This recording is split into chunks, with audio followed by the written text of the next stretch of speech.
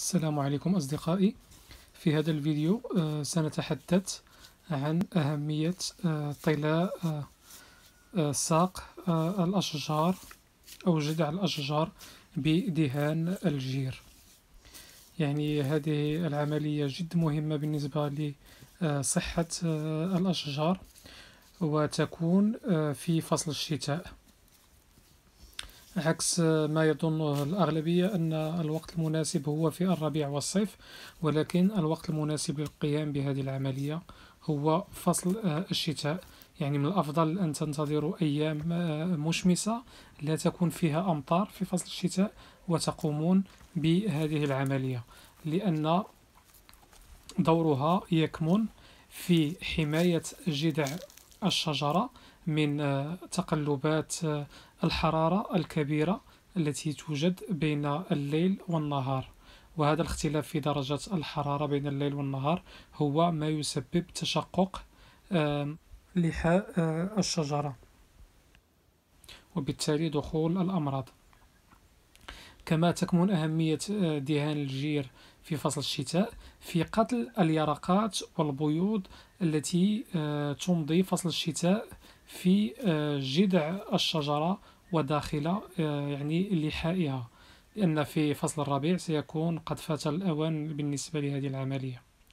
إذا بالنسبة لطريقة تحضير هذا الخليط إذا كما تشاهدون بالنسبة لطريقتي هنا عندي في هذا السطل عشرة آه، لترات آه، من عجينة الجير. إذا أقوم بإعدادها يعني بوضع عشرة لترات من الماء مع خمس كيلوغرامات من الجير ويبقوا آه، يعني خلال ليلة أو ليلتين أو يومين. إذا مع التحريك آه، آه، من فترة لأخرى.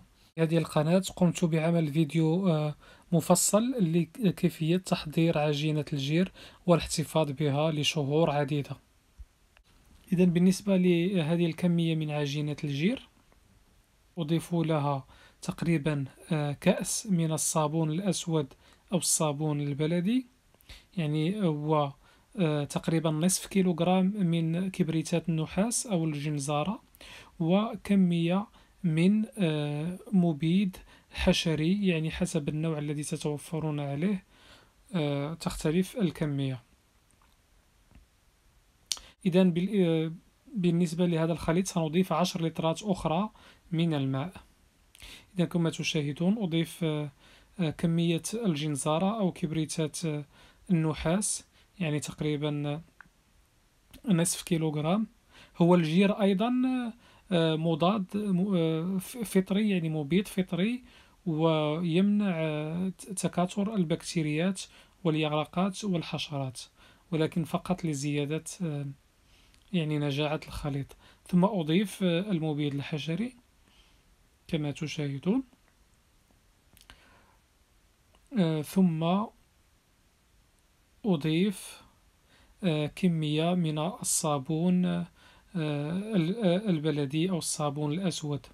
هو يستخرج من زيت آه، الزيتون. يمكن تعويضه بكمية آه، آه، ربع كيلو من الشب.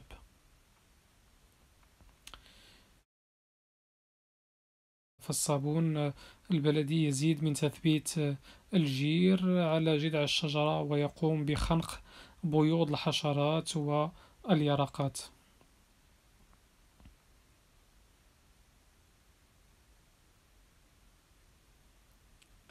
إذا كما قلت لكم تقريبا كمية كأس كأس واحد صغير من الصابون البلدي.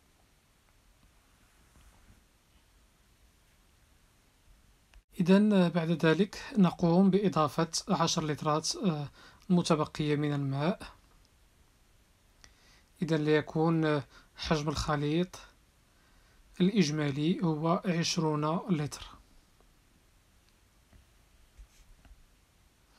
ثم أقوم بخلط هذا الخليط بشكل جيد تقريبا لمدة دقيقتين حتى آه، تختلط كل المكونات بشكل جيد.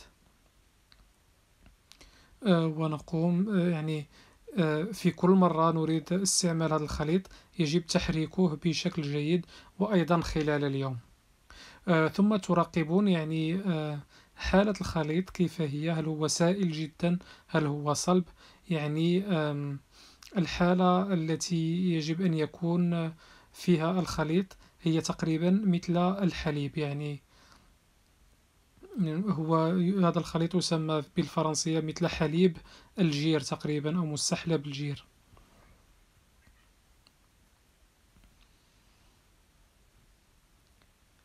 إذا هذه هي حالة الخليط كما تشاهدون.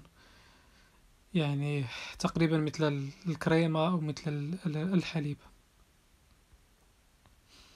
آه، تضعونه على الشجرة.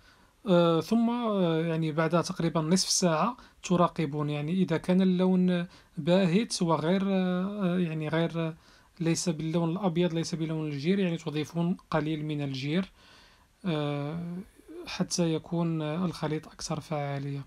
إذا قبل تطبيق الخليط على جذع الشجرة من الأفضل أن تتوفروا على يعني فرشاة صلبة كهذه وتقومون بحك جذع الشجرة. يعني إذا كان الجذع يعني أحرش وفيه آه، قشور ولحاء الشجرة من الأحسن يعني حكه بهذه الفرشاة.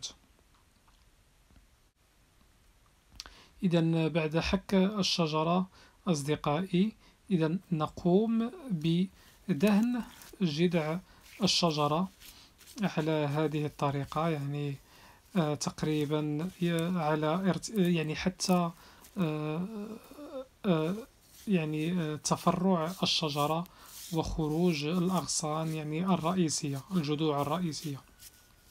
إذا على طول الجذع تقريبا ستين إلى سبعين سنتيمتر حسب طول الشجرة. يعني إذا كانت الشجرة طول جذعها يعني يعني شجرة عالية طول جذعها متر ونصف فعليكم أن يعني أن تدهنوا الجير على طول المتر ونصف. إذا كما تشاهدون عندما كنت أدهن هذه الشجرة وجدت يرقات هذه الحشرات يعني داخل آه، جذع في جذع الشجرة يعني في الثقوب الموجودة في جذع الشجرة. وهنا يعني يتضح لكم أهمية هذا الخليط وتطبيقه في هذا الوقت.